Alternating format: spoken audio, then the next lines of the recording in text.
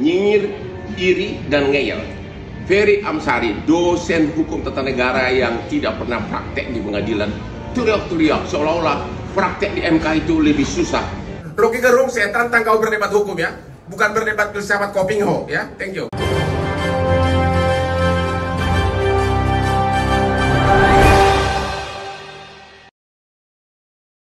Assalamualaikum warahmatullahi wabarakatuh. Ternyata Hotman Paris tidak berhenti ya. Kali ini Hotman Paris akhirnya menyerang yaitu Ferry Amsari yang merupakan pakar hukum dan dosen uh, hukum tata negara sekaligus aktor film Dirty Ford di mana Hotman Paris di dalam akun Instagramnya dengan mengatakan Ferry Amsari hanya bisa teori doang. Jadi menurut Hotman, Ferry Amsari ini adalah orangnya ngeyel, ngiri, dan tidak pernah praktek di pengadilan. Dan juga Hotman Paris juga menyinggung lagi-lagi Rocky Gerung ya. Sebelumnya kita tahu Rocky Gerung yaitu menyindir Hotman Paris yang mengatakan cincin beliau lebih berkilau daripada daripada otak Hotman Paris. Sepertinya Hotman Paris ini belum lega ya sama Rocky Gerung sampai akhirnya pun dia menantang Rocky Gerung untuk berdebat hukum dengan Rocky Gerung.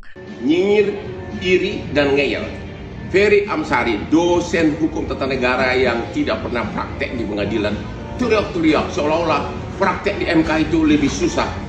Justru pembuktian di MK itu lebih sederhana dibandingkan dengan ratusan perkara-perkara internasional dan arbitrasi inter internasional yang sudah Otman pegang melawan berbagai pengacara asing. Saya kasih salah, salah satu contoh bahwa ini hanya masalah pembuktian. Bambang pengacara 01 teriak-teriak di MK, di sidang MK. Dia bilang di Gianyar, Prabowo hanya dapat 22% di tahun 2014. Prabowo hanya dapat 3% di 2019. Terus dia mempertanyakan, kenapa Prabowo bisa dapat 49% di Gianyar Bali tahun 2024? Tapi dia tidak mengajukan bukti kenapa. Apakah ada pelanggaran atas 49% tersebut? Dia teriak-teriak bansos. Dia tidak mengajukan satu orang pun saksi pemilih yang memilih karena disogok oleh bansos. Tidak ada. Ini kan hanya masalah pembuktian. Makanya saya mengatakan memang benar berlian saya ini lebih bersinar lebih pintar dari otak-otak kalian termasuk dari otaknya Robi Gerung. Inilah gara-gara ikuti pendapat Robi Gerung. Filsafat itu nggak bisa dipakai di persidangan. Hei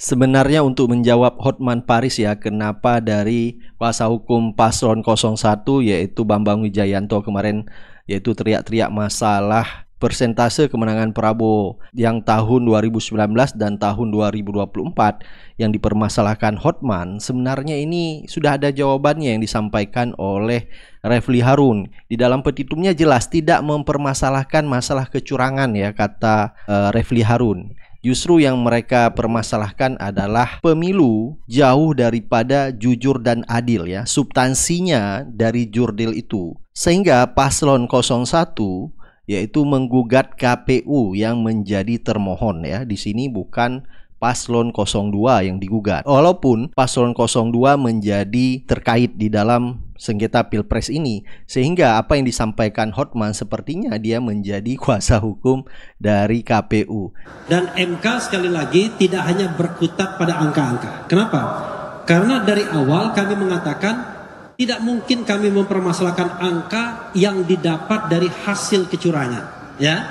Kalau kita mempermasalahkan angka yang didapat dari hasil kecurangan itu sama saja kita mengakui kecurangan itu sendiri. Karena itu kita bergerak pada hal yang jauh lebih substantif. Apa itu? Yaitu pemilu ini curang, pemilu ini melanggar konstitusi, bahkan mengkhianati konstitusi dan melanggar prinsip langsung umum bebas rahasia jujur dan adil terutama kata bebas jujur dan adil dan sampai hari ini yang didalilkan oleh 01 itu belum bisa dibantah ya paling tidak di antara teman-teman ini saya yakin tidak ada yang menyanggah bahwa pemilu ini curang. Kecuali ada yang menyanggah silakan saja. Tetapi saya dan kami semua yakin bahwa pemilu ini curang dan sampai pada tahap melanggar konstitusi. Jadi jelas sekali ya kata Refli Harun tidak mempermasalahkan masalah hitung-hitungan kecurangan pemilu ya. Kalau Refli Harun mempermasalahkan di dalam gugatan sengketa Pilpres masalah kecurangan dan hitung-hitungan sehingga MK lagi-lagi menjadi mahkamah kalkulator dipastikan gugatan atau petitum yang disampaikan dari paslon 01 maupun paslon 03 kemungkinan gugatan mereka akan kalah seperti pengalaman-pengalaman gugatan Pilpres sebelumnya waktu Prabowo menggugat Jokowi di Pilpres 2019. Karena dari itu mereka belajar dari pengalaman tersebut. Jadi tidak menggugat masalah hitung-hitungan kecurangan pemilu karena itu memang harus dibuktikan langsung di MK seperti kata Hotman Paris ya. Jadi jelas dalam petitum kuasa hukum paslon 01 yaitu meminta MK mendiskualifikasikan Gibran dan juga meminta pemungutan suara ulang. Nah, kenapa Hotman Paris di sini menyerang Ferry Amsari? Jadi pernah di ELC, Ferry Amsari menyinggung Hotman ya yaitu sebagai pengacara yang hanya bisa memberi gimmick ya karena dianggap tidak bisa memberi argumentasi hukum di sidang sengketa Pilpres kemarin. Pengacara-pengacara, mohon maaf bahasanya pengacara mewah dalam takaran uh, beracara kita, mereka tidak terbiasa beracara di Mahkamah Konstitusi. Sehingga kemudian terjadi lagi gimmick yang rasanya tidak perlu. Padahal harusnya Bang Fahri kan harus nyinggung ke Bang Horman Paris. Bang, bukan begini teknik hukum acara di MK. Hal yang sepele tidak diingatkan oleh Bang Fahri. Pemilu kita ini buruk bukan karena dirty vote tapi memang sudah buruk dari asal. Nah sayang, para intelektual hukum tata negara yang ada di ruangan itu seolah berdebat hal-hal yang tidak perlu dan tidak esensial untuk mem memperlihatkan betapa hebat kemampuan hukum tata negara ini. Padahal harusnya Bang Fahri kan harus nyinggung ke Bang Horman Paris, Bang, bukan begini teknik hukum acara di MK. hal yang sepele tidak diingatkan oleh Bang Fahri. Padahal kacau sekali apa yang dipertontonkan itu. Kalau kita sedang bersidang di MK, salah sedikit dalam hukum acara pasti sudah ditegur hakim. Nah ini yang pengacara-pengacara, mohon maaf bahasanya pengacara mewah dalam takaran uh, uh, beracara kita, mereka tidak terbiasa beracara di. Padahal apa yang disampaikan oleh Ferry Amsari benar sekali ya dengan fakta yang kita lihat di sidang sengketa pilpres kemarin. Jadi Hotman hanya bisa memberi gimmick ya, tidak tentang masalah argumentasi hukumnya di sana. Dan cukup banyak sekali teguran-teguran dari hakim Mahkamah Konstitusi kepada Hotman Paris. Nah, baru-baru saja Hotman Paris melakukan press conference yaitu terkait pembelaan yang disampaikan ke Mahkamah Konstitusi hari ini. Nah, di dalam kompresi press tersebut Hotman lagi-lagi menyinggung Refli Harun dan juga Rocky Gerung sepertinya Hotman, sepertinya Hotman masih membekas atas ucapan Rocky Gerung. Jadi kalau orang tanya kenapa saya nggak mengomentari, ya karena saya uh, merasa cincin beliau itu lebih berkilau dari otaknya kira-kira begitulah. Jadi kita gagal fokus ke cincin sebetulnya dengan argumen. Ini bercanda-bercanda antara ya buat melegakan lah netizen karena dikompor itu soal netizen. Kan selalu orang nyari fokusnya apa tuh? Tentu orang nggak akan nggak akan cari fokus di dalam pikiran beliau karena cincin beliau itu yang lebih menarik perhatian. Itu aja. Udah. Hai Rock and Roll kau menuduh berian saya lebih tajam dari otak saya. Yang benar berian saya ini lebih tajam dari otak kamu. Bahkan otak saya. Semua masyarakat mengatakan kok nggak imbang pengacaranya. Yang hadir ini semua pengacara-pengacara top. Yang sudah puluhan tahun berperkara. Yang di sana Repri Harun nggak pernah bersidang. Pengacaranya kosong berapa itu? 01. Mulia Lubis cuma konsultan. Anda bisa lihat ya betapa hancurnya pembelahan mereka. Inti pokok dari permohonan mereka adalah adanya kecurangan rakyat disogok dengan bansos. Kalau Sami jadi pengacaranya, pengacara perkara yang street lawyer yang sudah puluhan tahun, harusnya saya akan kumpulkan lima masyarakat dari tiap kabupaten penerima bansos, terutama yang berpihak, bawa ke MK ratusan, ini mereka tidak lakukan. Mereka terpengaruh sama filsafat kosong dari Rocky Gerung. Yang dibawa adalah filsuf Kristen, yaitu Romo. Sama psikolog. Bagaimana suatu peristiwa perbuatan melawan hukum dibuktikan mau dicoba dibantah dengan psikolog sama etika sama Romo, Romo ahli gerejani. Jadi benar-benar pembelahan mereka itu seperti saya bilang di awal benar-benar pepesan kosong, ya. Jadi jangan jangan nangis kalau kalah. Udah itu aja. Rocky Gerung saya tantang kau berdebat hukum ya, bukan berdebat filsafat Kopingho ya. Thank you. Apa yang disampaikan Hotman tentang kuasa hukum paslon 01 tidak pernah menangani kasus di MK ini justru salah ya. Seperti Refli Harun, ada beberapa kasus tentang sengketa pemilu yang pernah ditangani oleh Refli Harun ya. Mungkin Hotman kurang update ya. Nah, jelas sekali tadi terakhir Hotman menantang Rocky Gerung untuk berdebat hukum. Ini justru menjawab tantangan dari netizen yang mengharapkan perdebatan antar Hotman Paris dengan Rocky Gerung dan ini kalau terjadi bisa-bisa cukup seru dan ini menjadi tontonan netizen.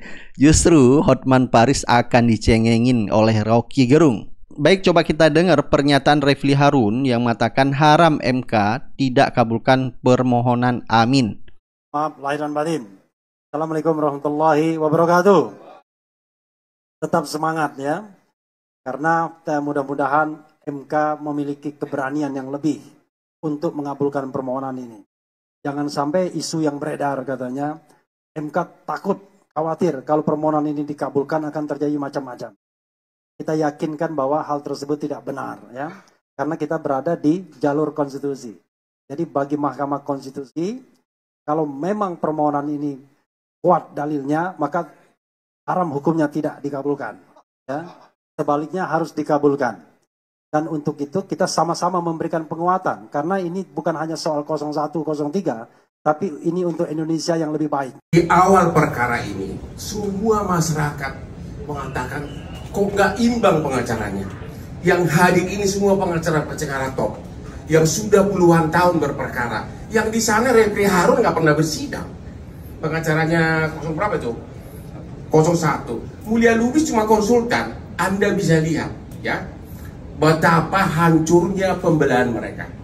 Inti pokok dari permohonan mereka adalah adanya kecurangan rakyat disogok dengan bansos. Kalau Sami jadi pengacaranya, pengacara perkara yang street lawyer yang sudah puluhan tahun, harusnya saya akan kumpulkan lima masyarakat dari tiap kabupaten penerima bansos, terutama yang berpihak, bawa ke MK ratusan ini mereka tidak lakukan. Mereka terpengaruh sama filsafat kosong dari Rocky Gerung. Yang dibawa adalah filsuf Kristen, yaitu Romo. Sama psikolog. Bagaimana suatu peristiwa perbuatan melawan hukum dibuktikan mau dicoba dibantah dengan psikolog sama etika sama Romo, Romo ahli gerejani. Jadi benar-benar pembelahan mereka itu seperti saya bilang di awal benar-benar pepesan kosong ya. Jadi jangan jangan nangis kalau kalah. Udah itu aja. Rocky Gerung saya tantang kau berdebat hukum ya. Bukan berdebat filsafat Kopingho ya. Thank you. Baik terima kasih. Saya tambahkan terima kasih Prof. Yus Baik, kita akan menunggu ya keputusan MK pada tanggal 22 April 2024 ini. Jadi kalau MK tidak mengabulkan permohonan dari paslon 01 maupun paslon 03, maka ada dua kemungkinan yang terjadi. Bisa saja yaitu hakim MK merasa tersandra atau terancam dan kedua, bisa saja hakim MK disuap dan hanya itu saja. Memang fakta yang kita lihat seharusnya MK mengabulkan salah satu petitum yang diajukan oleh paslon 01 maupun paslon 03 yaitu mendiskualifikasikan Gibran atau melakukan pemungutan suara ulang. Baik, silahkan Anda beri pendapat dan komentar Anda. Kita akan ketemu di video selanjutnya. Assalamualaikum warahmatullahi wabarakatuh.